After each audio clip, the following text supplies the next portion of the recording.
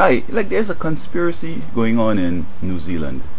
Like the journalists and the photojournalists and the video journalists, all these people like they're conspiring to keep us in the dark.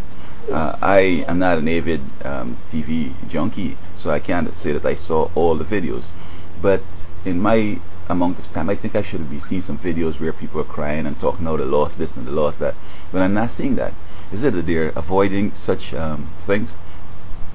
Now, perhaps uh, New Zealand wants to give the impression as uh, they're a superpower. So I'm going to ask the question: Do you have nukes over there? Um, do you have a an army that you're getting ready to, you know, come on and, and, and join the superpower club? Because perhaps this is the way superpowers are supposed to behave. Even if you get beat up very big, you just, you know, take it and move on. Uh, I remember Louisiana, the Katrina, and then the um, the oil spill. People committed suicide. People crying on the television. People going on and so forth. And uh, you know, I'm just trying to figure like, what's that?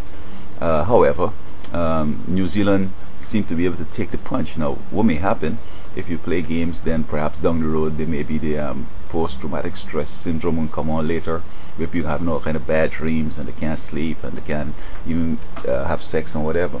So I think that uh, New Zealand better come out and let us see them weeping and, and mourning and talking about how they lost this and that. And um, maybe we need to start a little drive to raise some money to help out, um, fix up the cities and so on. So New Zealand, um, you don't need some help or what, bro?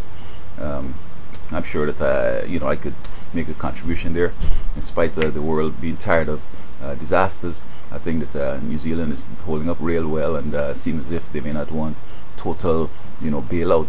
You know, we can help you out a little bit. So, New Zealand, is it for real, or you simply, you know, banning the real um, videos and the real pictures of this sufferation down in um, Christchurch?